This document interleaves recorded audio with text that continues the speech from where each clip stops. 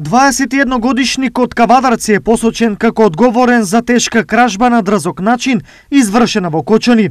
Кражбата е пријавена пред два дена, кога кавадарчанецот во ден пладне влегол во семеен дом, од каде одзел пари, накити и други предмети. По два дена, крадецот е откриен и приведен во полициска станица. Дел од украдените предмети се обезбедени и ќе бидат вратени на собственикот. По целосно документирање на случајот против РА ќе биде поднесена соодветна кривична пријава. Информираат од СВР.